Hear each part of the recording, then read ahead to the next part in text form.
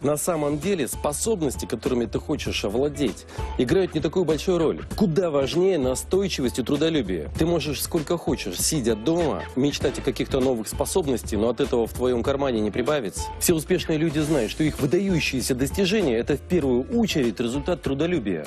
У каждого человека есть э, способности, есть недостатки. И многих людей останавливает то, что причина их неудач – это их недостатки. Но это не так. Слабые стороны личности не имеют для успеха никакого значения. Никто еще не стал богатым, избавившись от своих недостатков. Успешными вас делают ваши сильные стороны, которые вам нужно просто развить, усилить и использовать по максимуму. Дорога должна строиться на сильных сторонах вашей личности. Развивайте в себе настойчивость, потому что настойчивость – это самый главный фактор достижения успеха. Как без углерода не рождается сталь, точно так же без настойчивости не рождается успех, не рождается успешный человек. Джон Рокфеллер сказал, «Я не думаю, что есть какое-либо другое качество столь существенное для любого вида успеха, как настойчивость. Настойчивость – это умение идти к своей цели, не сдаваться, карабкаться, карабкаться наверх. Основа настойчивости – это сила воли. А вот сочетание силы воли и желания – это непреодолимая гремучая смесь. Но если желание разжечь и довести до страсти, оно материализуется. Подавляющее большинство людей, столкнувшись с первыми неудачами, бросают все. Они останавливаются. Успешные люди не останавливаются ни на первой, ни на второй, ни на десятой неудаче.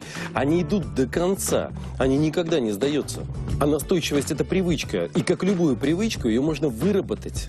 Успешный человек – это тот, который выработал в себе настойчивость как привычку, привычку побеждать.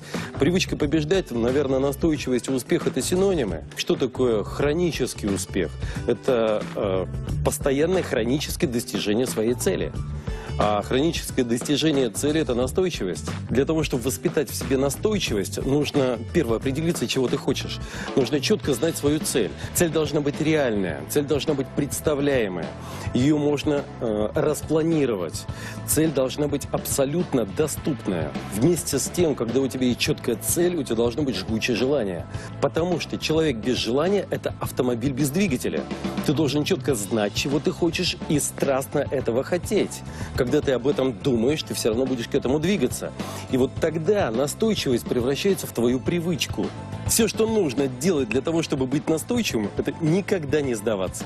Нужно верить в свою цель, верить в себя, верить в свои силы, потому что вера – это надежная точка опоры. Вера – это единственное противоядие от неудач. Потому что если ты упал, споткнулся, если ты ошибся, только вера позволяет тебе снова подняться на ноги, только вера позволяет тебе встать и двигаться вперед. Ты должен свято верить в себя, свято верить в свою цель и не предавать ее. Ты добьешься успеха только если веришь, что сможешь. Вера – это самая сильная опора и поддержка, потому что если ты сам в себя не веришь, кто же тебе поверит? Для того, чтобы достичь чего-то, нужно верить в это. Не стесняйтесь говорить о своих целях, потому что если вы эту цель озвучили, у вас возникла ответственность перед окружающими. То, что вы произнесли, вы обязаны соответствовать, вы обязаны это выполнить. Говорите, вы громко заявляете о своих целях.